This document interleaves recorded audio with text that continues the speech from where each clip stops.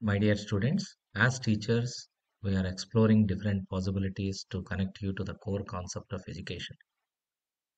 We sincerely feel that you should uh, not only understand the lesson, you should also experience that learning process. As an integral part of this, we have explored one concept of making jigsaw puzzle for you. Go to this site iamapuzzle.com click it. Here you can see make puzzles. Let us see how the jigsaw puzzle will be made by using this site. Here you can see you have to choose the file.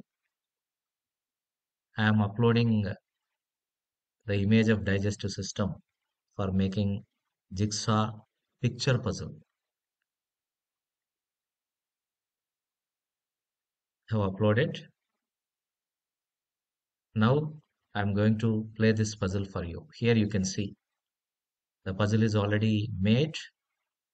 The image of digestive system is broken into different pieces and uh, you have to play this puzzle. That means you have to again integrate the components of this picture.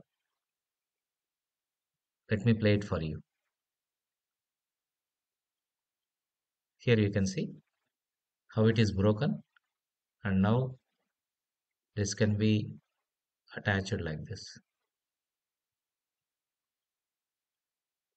so you can try the different pieces so like this you can attach